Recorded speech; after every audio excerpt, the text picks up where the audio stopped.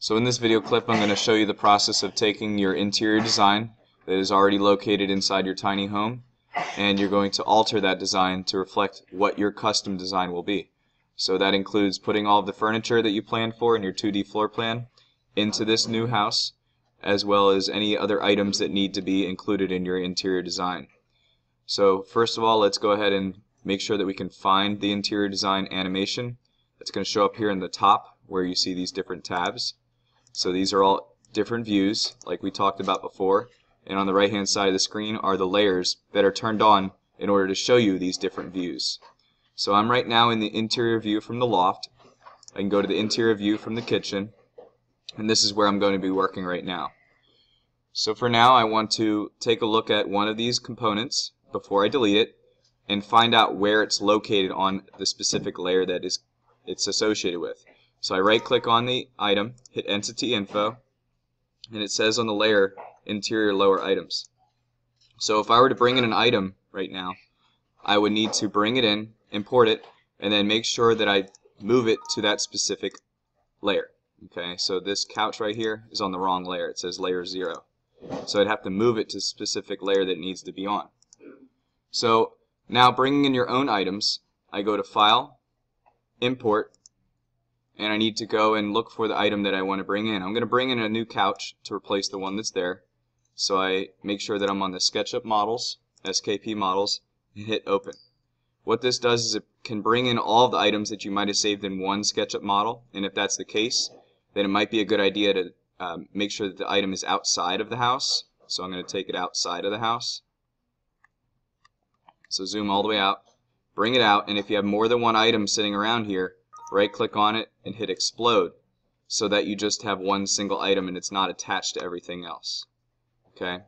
Now bringing that back into the plain view that I need, I'll just delete it and go back into the interior view from the kitchen and then go to File, Import, bring in the couch, hit open. I'm going to put it right here for now. Zoom around a little bit to see where it is right click on it, entity info, and move it to the specific layer that you want it to be on.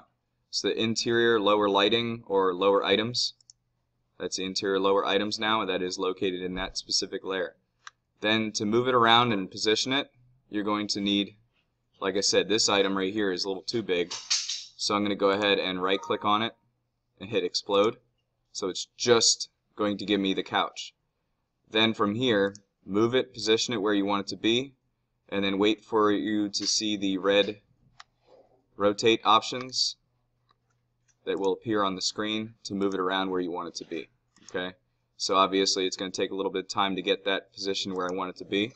I can always zoom out and do a section view to make it a little easier for me to position things by going to View. Actually, it's in Tools, Section Plane, and I'm going to work on this side so click on this side right here.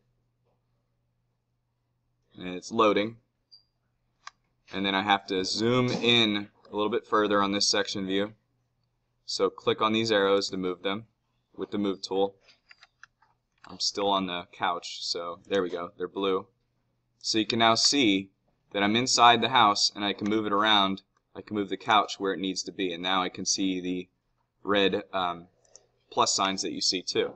If, if your computer becomes lagging, okay, it's slowing down because it's too busy trying to render all the graphics that are on the screen, my suggestion to you is to go to View, go to Face Style, and then decide to go with shaded rather than the shaded with textures.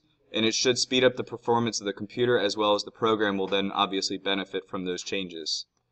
Alright, so that's all that I'm going to show you at this point. Once again, I've reviewed how to import SketchUp models that you've saved before from your 3D floor plan and inserting those directly into your house as well as relocating those items onto the correct layers that correspond with the animations.